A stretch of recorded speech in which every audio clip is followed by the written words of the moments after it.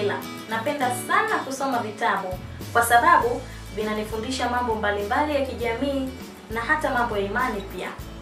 Na leo ningependa kukuonesha kitabu kinachoitwa Dini na Maisha au Faith and Life. Kitabu hiki ni kizuri sana.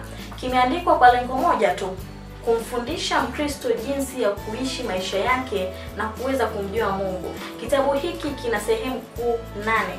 Sehemu ya kwanza ni inahusu Mungu muumbaji. Pengine umekuwa unajiuliza maswali mengi sana, kweli Mungu yupo?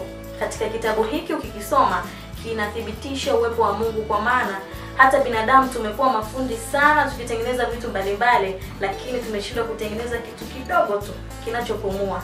Hilo pekee linathibitisha kwamba kweli Mungu yupo. Sehemu ya pili ya kitabu hiki inahusu imeandika kuhusu mwanadamu na wajibu wake. Pengine umezaliwa lakini hufahamu wajibu wako ni nini. Mungu hakukuleta hapa duniani bure, alikuwa na kusudi lake. Ukisoma kitabu cha Dini na Maisha kinakuelekeza wajibu wako wewe kama binadamu, wajibu wako wa hapa duniani, nini unatakiwa ifanye katika mambo ya imani, Mungu anapendezwa na nini kutoka kwako. Ukisoma kitabu hiki cha Dini na Maisha kitakufundisha vizuri. Na sehemu ya tatu ya kitabu hiki imeelezea kuhusu mipango ya shetani na amri za Mungu. Shetani ana mpango gani na maisha yako na nini unataka ujue, Mungu anatamani ufanye nini. Kwa hiyo utaweza kupata huu zile amri kumi za Mungu kupitia kitabu cha Dini na Maisha. Na sehemu nyingine katika kitabu hiki imeelezea kuhusu njia ya wokovu. Pengine ufahamu unatamani kuokoka, lakini hujui njia gani sahihi ya wewe kupata wokovu. Njia ya wokovu ni kwa Yesu pekee. Soma kitabu hiki, kitakuelekeza vizuri namna gani unaweza ukaokoka na ukamjua Mungu. Na vile vile kitabu hiki kimeelezea kuhusu dini ya Kikristo. Wote tunafahamu kwamba dini ya Kikristo ni zawadi kutoka kwa Mungu, si ndivyo? Ukisoma kitabu hiki itakuelezea vizuri kuhusu dini ya Kikristo, lakini vile vile hakijaishia hapo. Wameandika kuhusu maisha yetu ya Kikristo. Umeshaokoka, umeshaijua dini ya Kikristo. Je, unatakiwa uishije wewe kama Mkristo? Kitabu hiki kitakuelekeza vizuri kabisa, utajikuta unaishi maisha mazuri yanayompendeza Mungu.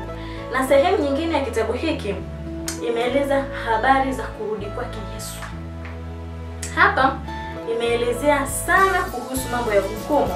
Kwa hivyo imeandika vitu mbalimbali, pengine labda dalili gani zitakazoashiria Yesu anarudi. Unatakiwa ujiandae. Ukisoma kitabu hiki utaelewa kwa nini wameandika kurudi kwake Yesu. Yesu atarudi wakati gani? Inaeleza hapa, imechambua vizuri sana. Na sehemu ya mwisho ya kitabu hiki imeandika kuhusu uzima wa milele. Wote tunafahamu kwamba wanadamu hapa duniani sisi ni wapitaji, tunapita tu, tuna makazi yetu ya milele huko mbinguni. Kwa hivyo ukisoma kitabu hiki utaelewa namna gani hapa duniani uishi maisha yako kumpendeza Mungu ili uweze kujiandalia makazi yako ya milele mbinguni. Kitabu hiki ni kizuri sana, kimelenga hasa kwa waongofu wapya ambao ndo kwanza wameokoka ama unahitaji kuokoka ama uliyeokoka. Ni kizuri kwako kwa sababu ukikisoma kinakuwa kinakukumbusha mambo ya muhimu sana kuhusu Mungu. Kitabu hiki kinapatikana katika maduka ya Soma Biblia kama unavyoona hapo. Maduka yetu yanapatikana mikoa mingi hapa nchini Tanzania. Unaweza ukakipata ukakisoma, unaweza ukapata kupitia pia barua pepe. Karibu ujumuike nami katika kipindi hiki. Naitwa Leila. Mungu akubariki sana na kwaheri.